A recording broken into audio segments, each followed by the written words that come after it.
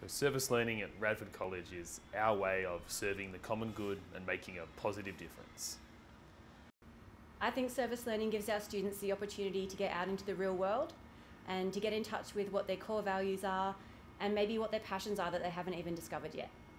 My name is Lisa Posato. We're now a um, not-for-profit organisation called Grind to Ground Incorporated and we support people living with disabilities um, to be included in society and hopefully be gainfully employed.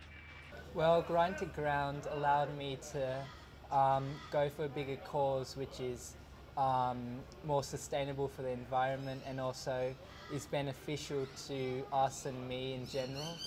Um, and I feel that just one of the aspects which came to by doing grind to ground is also the social aspects such as meeting new people who may be struggling in life or having a different life to me totally. I'm Brad Davis, Head of Year 9 here at Radford College. The Warn Souls is an integral program of the Year 9 learner experience. I think for the students it's really about getting an understanding of what some people like refugees have to go through. Yesterday we had a speaker come in to talk to us who was a refugee from Afghanistan.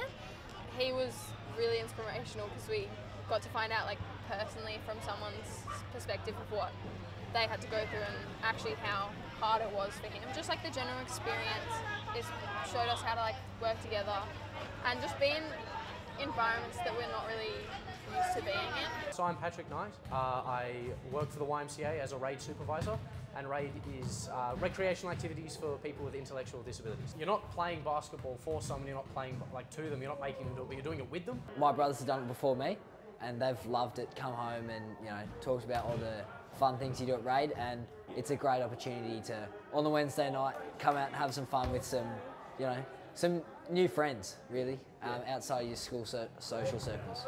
We do the raid on Wednesday night. Um, we have Dream Cricket, which is similar to raid. It's just we go to uh, schools and we do cricket with people with disabilities. The relationship happens naturally because you're surrounded by people who love doing the same stuff that you do. And then it just continues and it grows from there until the point where you're not coming to play basketball, you're now coming to spend time with friends, um, which was a big part for me, I think, uh, and why I continued through.